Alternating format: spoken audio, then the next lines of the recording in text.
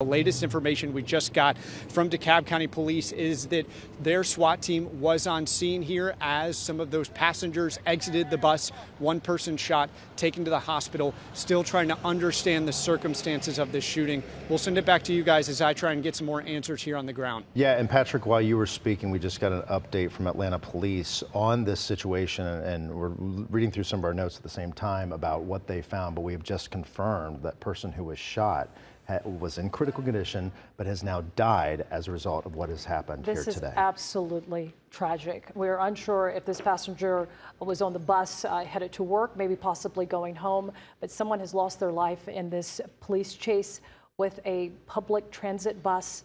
Uh, multiple people were hijacked on that bus. The latest information that we're getting just now from Atlanta police officers is that they initially responded to a report of gunfire on this bus and that it was a hostage situation near 45 Ivan Allen Jr. Boulevard Northeast. Once the officers arrived at the scene, the bus fled the location according to police and then that pursuit began. And this went, as we know, and as we followed this, it went through multiple areas, involved several agencies. And while this was happening, police used various tactics. They wanted to try to stop this bus, according to police. And it ultimately came to a stop where Patrick Quinn has been. But we've also learned more about the suspect. According to Atlanta police, that suspect is a 39 year old male.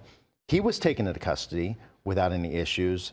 And then once they were clearing that bus, that's when officers say they found an adult victim with that gunshot wound who later died. And if you look in the center of your screen and you look at the top of the bus, you see a digital billboard.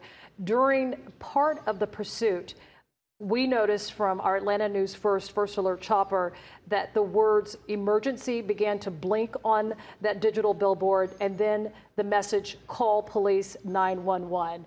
I know Brendan Keefe, you have been uh, asking questions of the police department, also from the Metro uh, Bus Department who handles this bus in Gwinnett County. Uh, who triggered that? Did the driver trigger that to say, I need help now? Or was this coming from dispatch? Is this an emergency response if were they trained in case something like this happens?